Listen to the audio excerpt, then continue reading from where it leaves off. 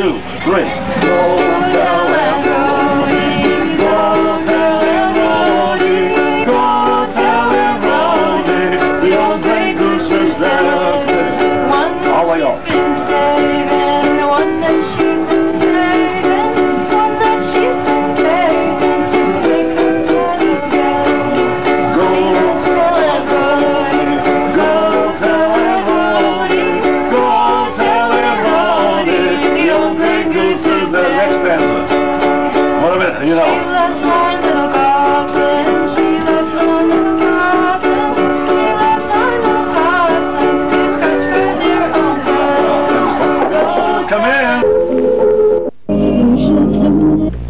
What kind of person lives in a house like this?